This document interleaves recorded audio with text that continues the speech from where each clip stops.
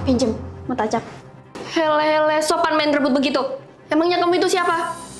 Hei karyawan baru, kamu belum tanda tangan kontrak. Pinjem penanya. Taruh aja dokumennya di meja. Padahal orangnya emas, warna orang kaya. Tapi kok papa minjem? Kelakuannya juga kampungan. Udah kan makanya? Balikin. Hei pak, ini tuh masih lingkungan kantin kantor. Udah, nggak apa-apa. Lagian, semua orang juga udah tahu kalau kamu itu pacarku. Wih, kayaknya enak nih. Boleh cicip kan? Dia beneran orang kaya nggak sih? Masa makan aja nebeng?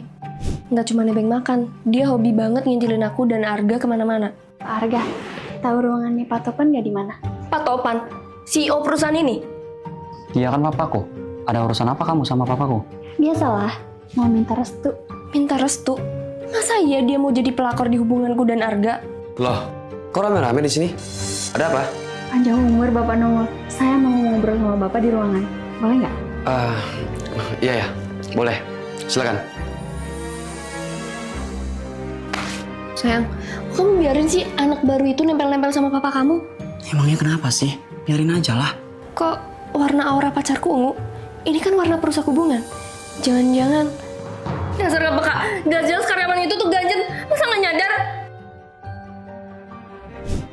Nggak usah ngambek, anaknya udah dipecat. Hah? Kok bisa? Soalnya aku kepikiran kata-kata kamu. Aku sadar kelakuannya terlalu semena-mena sama kita. Dia juga nggak sopan di depan aku yang atasannya. Karena dia masuk lewat jalur rekomendasi papa, aku pun mau nyelidiki latar belakangnya. Ternyata sejak awal Ruby dibawa papa karena dia selingkuhan papa. Papa, aku nggak mau ya. Papa masukin karyawan tapi malah bikin malu keluarga. Pecat dia, atau aku nggak mau jadi penerus papa. Percaya sama aku, nggak akan ada yang ganggu kamu lagi. Dan papa udah renungin semua kesalahannya. Hele, hele. Percuma aku khawatir. Ternyata aura ungu pacarku itu karena mau bikin papa dan selingkuhannya itu putus toh. Ya, aku percaya.